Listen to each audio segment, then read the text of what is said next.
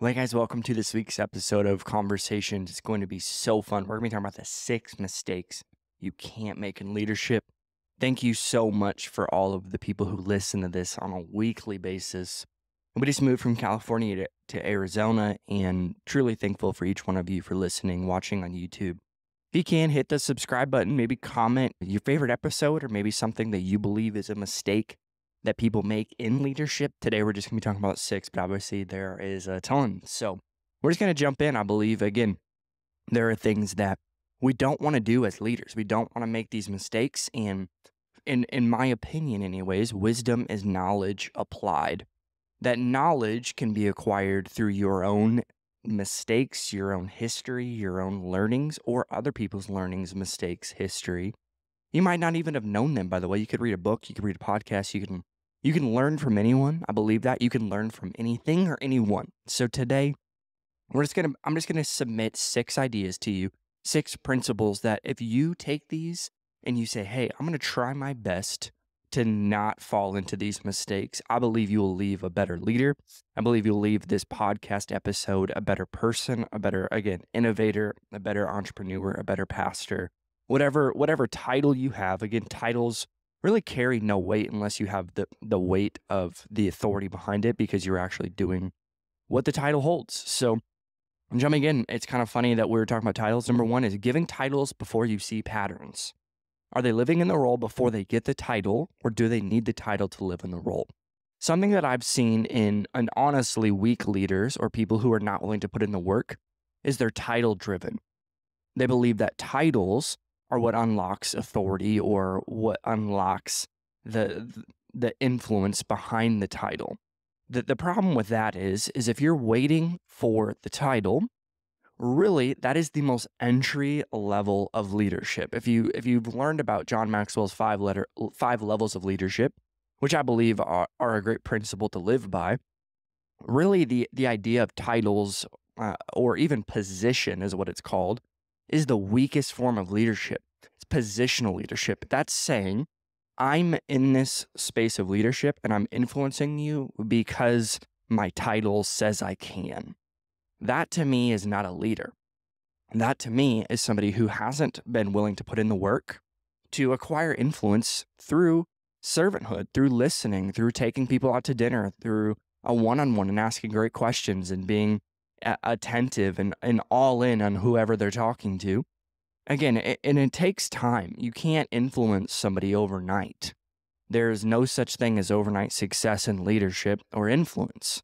What there is, is intentionality. What there is, is servanthood or hospitality and making sure people feel known and needed. We say this every single week. That's all you got to do. You got to make people feel known and needed. And slowly but surely, what you'll see is people will actually start to go to you for questions. They'll start to go to you because you've been the person who's been by their side the whole the whole journey. So giving titles before you see patterns. Leader, please hear me. Don't give a title because you think that you got to fill a role in your pipeline or fill a role in your structure. You don't need to fill anything. You don't have to do anything, by the way. The the the these people who have the like best practices, like the four steps to getting the best leader around you, I, I agree with that. I think those are great. I think you should watch those. The problem is when it is attached to a structure or even an org chart. Org charts happen, by the way, because the right people are in the right bus in the right seat on the bus. So, first of all, you're driving the bus. The the vision is driving the bus. You're the one behind the wheel. So, positioning people in the on the bus, you got to get people on the bus first, and then the right on seat on the bus. A lot of people have said this alignment determines assignment. It's not necessarily where we're going, it's who we're who we're going on the journey with. So if you focus on surrounding yourself with the right who, but also acquiring influence through those people, saying, "Hey, again, uh, apply this to any context. Hey, I'm the leader here, so this is the way it goes. Hey, I'm the person on the org chart, so you have to follow me." That honestly does not work in my opinion, having a boss who just says, Hey, I'm the boss, this is how it is. If you have to consistently say you're the boss, you're probably not the boss because you're telling people what they already know and they're probably just not bought into you. People buy people buy into healthy strong authority figures. You want to follow somebody, be worth following. You want people to follow you, you want to have influence. I promise you, if you just focus on being a person worth following, people will follow you. Think about in the context of social media. This applies to all the spaces, but again, just think about Instagram, okay? You created your Instagram page and you want people to follow you. Something in your bio that just says, follow me because I have an Instagram account, nobody's gonna follow you because they don't know why they should follow you. They don't see any content or see any context. You don't even have a profile picture yet. So they're like, I don't even know him. I don't know anything about them. I don't know about anything about their life, but I do know they have an account. They'll apply that to con- in the context of leadership. Hey, follow me because I'm a human and I have a title. No, I'm not going to because I don't know you. I don't have any content, quote unquote. I don't I don't see your lifestyle. I don't see the context of your life. I don't see the way you treat your family, your wife, your kids. I don't see the way you treat yourself. So I'm not just going to follow blindly. Blind leadership is not healthy and it's not good. It's not a, it's not a good place to live. What should be your goal? Again, I've said this I think last podcast, but we want to follow patterns. So uh, when somebody like I said, someone has a pattern of servanthood, someone has a pattern of listening, a pattern of a positive, encouraging, entrepreneurial, innovative spirit. Man, they're they're just trying to always jump to solutions. They're not sitting in problems. They're not coming to you asking, "Hey, I need clarity on this." No, they're finding they're finding the the ways to produce results. That's somebody and then you look at them and you look behind them and there's like 10 people following them. Mm. That's somebody who's a leader. That's somebody who you can put a title on after the case and it makes sense. So giving titles before you see patterns. Look for patterns in people before you just throw out titles here or there. Because also the other side of that is you're going to give a title to somebody and then it's going to be too late because you've given them the authority, they're leading, and now what you're seeing six months later is why is my organization so unhealthy? Why is it so broken? It's because you gave somebody authority before they had the pattern of a leader. Number two, assuming people know the vision. Don't assume people know anything you got to repeat the vision and the mission and the values every time you have a meeting on a daily basis, probably for the first three to five years. And then you got to always imagine if you're an actual growing company, there's going to be people coming in the organization. So you're hiring people, you're onboarding team members in a church context. People are joining team. They're so excited. They have no idea what, what's going on because they're buying into the mission. They're buying into the person before they buy into the mission. Okay. So they're bought into you. Now they bought into the mission of it's a church. So they're they know what our goal is. They're assuming anyways. But again, not every church has the same CTA. Not every church has the same KPI. Not every church has the same mission and values and mission. So you got you got to always look for clarity. A communicator is per, uh, somebody who communicates with clarity and connects with clarity. So I'm communicating, I'm articulating my thoughts in a in a clear way so people understand it because if nobody's understanding what you're saying, you're not communicating, you're yelling, or people you're just babbling. No one no one has any idea what you're saying. So don't assume people know anything. Never assume your team fully gets it. Never assume people. And again, this isn't just saying cheesy taglines because that's not what I'm saying. You can reiterate a cheesy tagline over and over and over, but if it's not in you, I promise you it'll never come out of your team.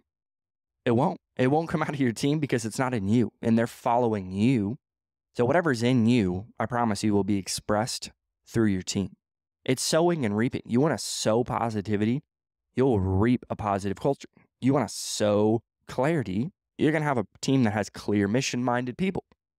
But again, if you sow confusion because you're not clear on what you're doing, you're going to reap confused people. So don't assume people know the vision. Hey, this is where we're going. This is our goal.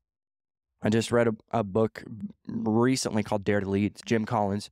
I believe I read it multiple times, but it's like the good to great and then uh, Dare to Lead. But Dare to Lead, they always talk about, man, it's it's great to have big, ambitious goals. We need to have a BHAG, big, ambitious goals because when we have a big, ambitious goal and we reiterate it constantly and we have a healthy culture environment and people consistently hear where we're going what you're doing is you're reminding people why they're doing it. And if you can consistently remind people why we do it and where we're going, they will con- they will always be with you. But again, you cannot assume people know anything. especially if you have people growing on your team. Number three, no, not holding people accountable. Every team has one person who shouldn't be in the position anymore. It's time to move on. So, not not holding people accountable. We gotta hold people accountable, especially in the volunteer culture. I think we assume that because they're volunteers, we can't hold them accountable because they can just leave. Great, leave. Because Uh, what we want is we want people who are going to be there. They're going to serve with excellence. They're going to serve with passion. Because you can you can have busy bees. You can have people basically for no reason at all. That's not our hope. We don't want people just to come. We don't want crazy crowds with no vision, no alignment. What you want is you want people who are mission oriented, with people have the right culture, and they're the right people on the bus, like I've said over and over in this episode. You got to hold people accountable. You got to write down the expectations. You got to write down the goals. You got to write down where we're going. You got to write down, again, like I said, expectations. You cannot say you have a culture of excellence without expectations because a culture of excellence is saying we have a standard. A standard not communicated and written down is not a standard. It's not even an expectation. Unspoken expectations always lead to resentment. When you're a person who leads with unspoken expectations, what you're going to end up having is people who resent you. You're going to have a team who resents you, who's not following you, or they're following you blindly. You can apply that to relationships. You can apply that to friendships. You can apply that to anything. We got to make sure we are super clear with what we're asking people to do. If it's not on paper and if it's not on a document and they're not signing it, I'm telling you, it's not an expectation and it's not a standard. It's holding people accountable. If you hold people accountable, which means, by the way, you're not like, you're not rude, you're not abrasive, but there is something that says, hey, this is our standard. This is what we wrote down, you signed and I signed, and this is where mm-hmm. we're at. And again, that's not the initial conversation. I know I'm talking to leaders on this podcast. The initial conversation is again, I use the word pattern. Hey, I've seen this consistently the last couple of weeks. Can you help me understand, like, hey, man, what is there something going on? And if you can get to the heart of the issue, you can always change the hands. Never jump to the hands before you talk to the heart or even talk to the mind. Don't talk to the mind before you talk to the heart. Always get to the heart of the issue. Always dig with the right questions to help discover what's going on in their mind, what's going on in their heart, what's going on in their hands. Maybe it's practical. Maybe their heart is just not in it. And uh, a, the indicator that somebody's heart is not in it, it's their joy and their generosity. They might not have joy anymore, or they might not have gener- they might not be so generous with their time, talents, or treasures. So if you're seeing the fruit, which is joy and generosity, you you know that there's the heart issue of their heart is not in it. They're not they're not aligned and that's your responsibility as a leader to get to the heart. So you got to hold people accountable. And it, it's not after 10 years once we get this thing, once we get the rocket ship launched, then we can hold people accountable. No. Imagine if that apply that to NASA. Hey, we're not going to have any standards at NASA. We're just going to assume that the the the rocket's going to launch. Elon's not holding anyone accountable at SpaceX, they're just going to just, mm, I don't know, we'll just see what happens. We'll just throw it up in the air. And then once we get 10 people on on the ship in the air, then we're going to have some standards. No, that's that's not how it works and it will never have success. A successful team always has standards and has a peer-to-peer relationships that are holding each other accountable. Because you don't always have to be the bad guy. You don't always have to be the good guy. You don't have to be the guy at all the the job of a leader is to help people feel like they have permission to challenge one another to help each other grow. Imagine if the head coach of the Chicago Bulls only is the person who is holding people accountable to showing up on time, putting their heart and soul into practice, trying their best in games, practicing outside of practice. If the head coach was the only person talking to them, they wouldn't be successful. What you have to do is you have to be a person who is the coach who helps players hold each other accountable, helps players say to each other, hey, we have a standard here. We want to win games. I'm not trying to have good practices. I'm so tired of leaders, especially in the church, who just want to just like put on a good show. Hey, we had a good Sunday. Yeah, but you didn't have a great Sunday. You didn't have an excellent Sunday. You you saw one Sunday that was good. The next Sunday was atrocious. No, why don't we have five weeks in a row of excellence and a quality uh, service, then we can say, hey, maybe we have something great going on here. You know, you have something great when you can do it consistently for three to five weeks in a row without any errors. That's all I'll say about that. So hold people accountable, make sure it's clear, write it on paper. Again, hold people accountable because they need it. They want it, by the way. They want to grow. And the only the only level of growth is consistent with the level of accountability. So not number 4, not pivoting fast enough. The test of a leader is how quick can you and your team pivot when opposition comes to you. So so speed is important, especially when you're trying to start something. I've worked with over 200 plus businesses on their strategy of going from where they are to where they want to go. That means that it might be a startup, it might be a business that's 50 years old. It doesn't matter. I've probably worked with them in the business side of it. With church, I've I've served and been a part of a fairly old church, a very new church, two church plants in the midst of that, and most recently a church that's 27 years old. And now we're launching a church in Phoenix, Arizona. No matter what, no matter what context, no matter what team, you have to know when to pivot and how quickly you can pivot will determine the level of success you will have. So, a team that is a late bloomer, somebody who is, you have to calculate everything, you have to articulate your stuff to everyone, and everyone needs clarity. And then maybe we'll think about it, we'll process it for a couple weeks, and then we'll make a decision. I'm telling you, most of the time, those teams will not be successful the, most businesses like who work like that will not be successful. Just apply it to any context. TikTok. TikTok exploded. Imagine if you were a business or a content creator in 2019 and you saw it starting to explode and you go, I don't know, I'm going to give it six months. If you waited six months, you know now, man, I should have probably done it earlier. And what a healthy, in my opinion, organization is somebody who who sees it early and is willing to make the pivot. Hey, we're gonna we're gonna we're gonna integrate this. That isn't obsolete. That doesn't make truth obsolete. That doesn't remove truth. I understand that. There are principles, no matter what, that the church will always ride and die for. I'm not saying that. I'm saying more practical things than not. Maybe there's a system, there's a communication platform that you're seeing other organizations use, and it's so much better than one you're using a practical decision is probably, hey, let's move over there. That's okay. That's a simple, practical pivot. Again, not all pivots need to be these crazy, earth shattering decisions. They're the micro decisions that lead organizations to be great versus just mediocre or good at best. So, direction is more important than speed, obviously. Where we're going is more important than how fast we go, but speed is also important. It's not saying speed isn't important. It's saying direction is more important than speed.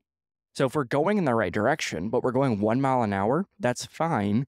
Let's just all make sure we're aligned with that. But the speed of the org is also important. We got to make sure that we're pivoting.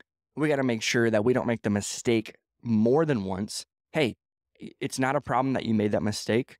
Just don't do it again. Learn from it. And learning, by the way, and applying it, that's pivoting. That's saying, hey, we did this, it didn't work, let's try something new. We tried it, cool, it works, let's keep going. You gotta you gotta pivot. You gotta make sure that your organization and your leaders know they have the permission to quickly pivot. There might be something happening on a Sunday morning that in the midst of the service, something happens and you're like, cool, gotta pivot, we gotta get ready. And an organization that stays ready, a team that stays ready, will always be okay with pivots, with quick changes, with little things. And you don't want to you don't want to always be that person who changes stuff up last minute, but a team who stays ready doesn't have to get ready. A team that has to get ready is usually somebody who will be late to the game. Number 5, copying everyone else. If they did it and we're successful, we can do it too. What a lie. What a lie. Copying someone else. Do not be a copycat. One, God has placed you in a specific city, in a specific neighborhood with a specific team and a group of people. It's our responsibility to hear from God and how He's communicating to us to how we're supposed to serve the people around us. Most of the time, by the way, it's practical.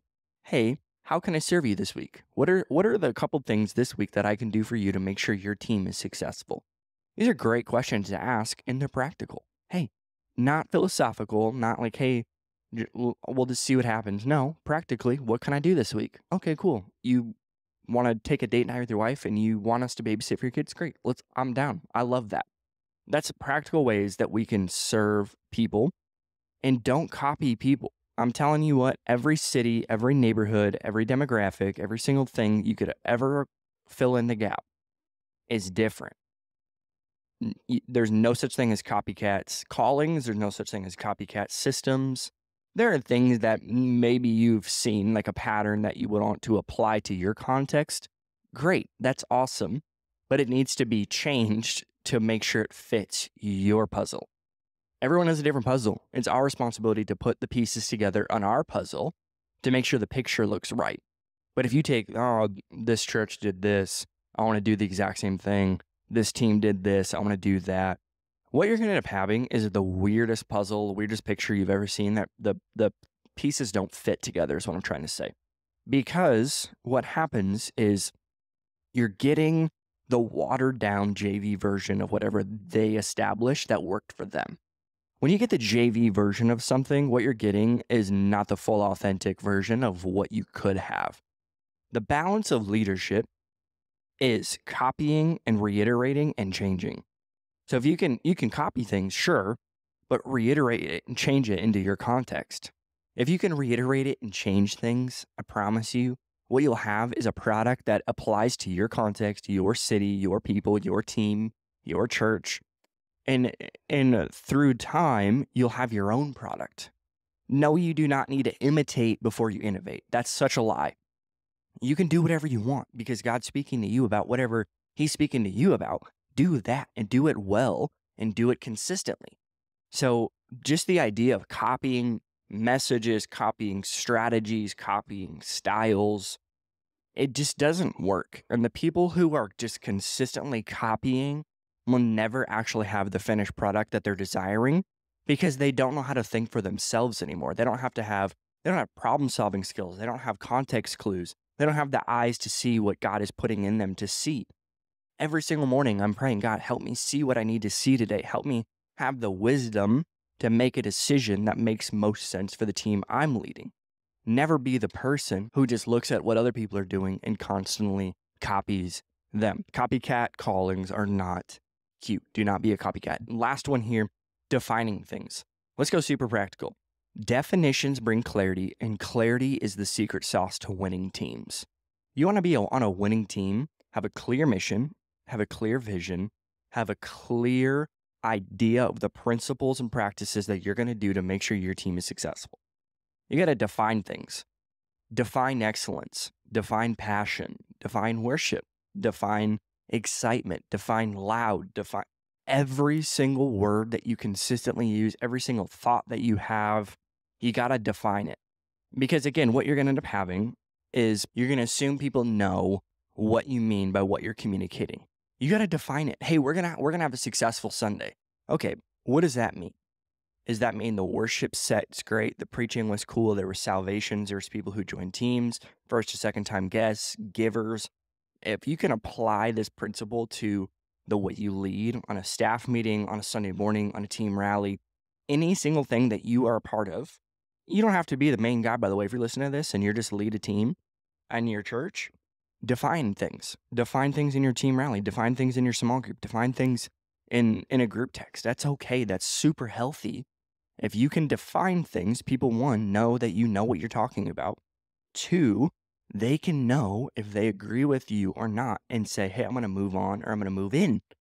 They move into the team, they're going to join, they're going to jump, they're going to be excited about it. They're going to make a difference because you've properly defined things, you've set expectations, you guys know when to pivot and you know that it can happen at any moment. No one's assuming the vision and you're not giving titles before you see patterns. That to me sounds like a really successful team. And if you can apply these six mistakes, learn from me. Do not do these things. Don't give titles before you see patterns.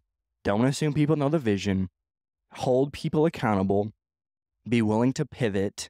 Don't copycat and truly bring definitions to everything you're doing, reiterate that over and over and over again, what you're going to have is you're going to have a successful winning team who knows where they're going, know who they're supposed to become, and in the midst of the process of building a healthy organization, a healthy team, what you're going to see is a lot of life change in the church context. You're going to see a lot of people get saved. You're going to a lot, a lot of people join team because everyone wants to be a part of a winning team. And the reality is, if you're doing these six things, you're not going to be on a winning team. You're going to be on a team that might think that they're winning, but the reality is, is you're not, and you know it. And it's our responsibility as leaders to take ownership of everything that God's put in our hands. He's put it in your hands so you can steward it, steward it so He can build it and put win behind it. Promise you do these six things, what you're going to have is a great organization, a great team, and honestly, more peace at night going to bed, knowing that your team knows where we're going. They're aligned, they're excited, they're passionate because you've defined all those things and we can win together. Thank you so much for listening to this week's episode. I believe, again, you're making such a difference in your city. You're making such a difference in your team, in your family, in your friend group. Consistently get 1% better every single day. You know the things you need to do. Now just do it. We'll see you next week. Thank you so much.